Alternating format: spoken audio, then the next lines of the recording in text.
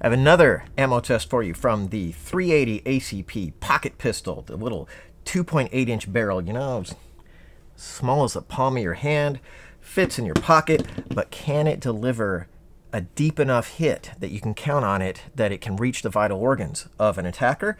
Uh, it can with certain ammo, but I'm still looking for more. I, I found that Hornady XTPs and the uh, Federal Hydra-Shoks did well, but I was contacted by the people at Corbon because of the results of my 9mm ammo test, which uh, in 9mm from the pocket pistol, uh, DPX was a fantastic performer. And they said, Would you like to try our 380? And I'm like, Yes, I would like to try your 380, especially because it has this little sticker that says new and improved on it. How, how can you not love that? How can you not want to test that? So, Corbon DPX 380 from the micro pistol through professional FBI specification ballistic gelatin with and without the four layers of IWBA denim. Actually, the without is going to be using the clear ballistic synthetic gel, which is the normal procedure I did for all the other 380 ammo tests.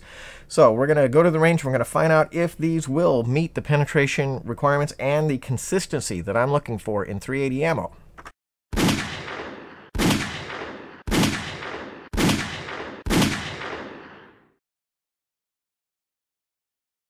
Corbon DPX new and improved 380s through the bare gel did pretty well. We did have one bullet came up a bit shorter than I like. It stopped at 10 inches. After that, they were all really very good. The next bullet came in at 11 and 3 quarters, which again is technically below the 12 inch minimum that I'm looking for, but you know, come on. And then we had the next bullet came in at 12 and a quarter, then one at 12 and 3 quarters, and the furthest bullet at 13 inches. So just based on bare penetration, they did really well, except we did have one that came up way short, and I'm not, not too happy about that one that came in at 10 inches.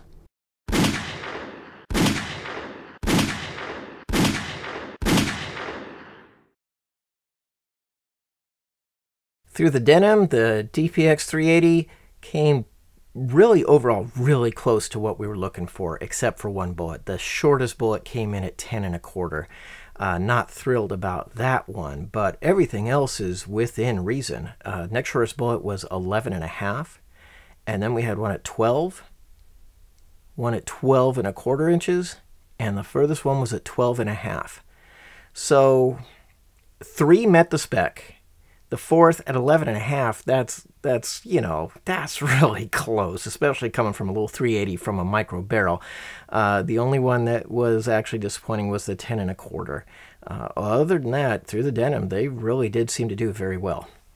All right, the DPX 380, when we're looking at the recovered bullets, well, we didn't get consistent performance. You know, in fact, you have to kind of look, especially at these four through the denim, they were actually rather consistent. In fact, we've got three through the bare gel that did this same thing, where two petals peeled forward and the rest of the bullet just didn't. That might be construed as a case of bullet failure, but the thing is, when the bullet did expand fully, like this one and this one, which neither of these are actually true full expansion, they're they're partway there, but you can see that, you know, it's not like a typical textbook bullet expansion. But when it did expand as as big as any of these did, that's when it penetrated the least. These are the bullets that are only going, you know, 10, 10 and a quarter inches. These bullets are the ones that are headed to 12 inches. So this partial expansion is not great, but it's also what kept the size down and let the penetration go up. And we did have one complete fail to expand, and surprisingly enough, that was in the bare gel. Normally, when we encounter fail to expands, that's in the denim. Compared to how I judged the 9 millimeters, this would look bad. But compared to how so many of the 380s performed, this is actually competitive or fine.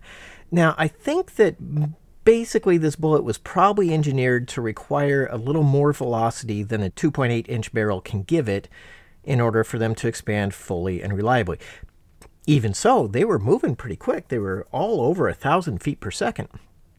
So maybe from a, Glock 42, for example, maybe you would get complete expansion. I don't know if you get as deep penetration though. And if I had to choose between a shorter bullet that expanded bigger or a deeper penetrating bullet that may not have finished the expansion process, I'll take the deeper penetrating bullet to make sure that we can hit the vitals. So uh, I was really optimistic for this load. I thought we were going to have the grand winner, especially with uh, Corbon saying right on it there, uh, new and improved. It was actually pretty decent. If it wasn't for these 10 inch bullets, this might even be in the winner circle. But it definitely, definitely was a decent performer, just not the overall superstar that I was hoping for. Okay, wrap up on the Corbon DPX, new and improved. It did pretty well, but not good enough and not consistent enough for me to put it in the winner's circle. Um, I wasn't really thrilled with the idea that most of the bullets didn't expand properly. Uh, they, they only really partially expanded. And they when they did that, they penetrated great. We got good penetration out of a lot of the bullets, but not out of all of them. Because sometimes the bullets did expand properly, and when they did, they only went about 10 inches.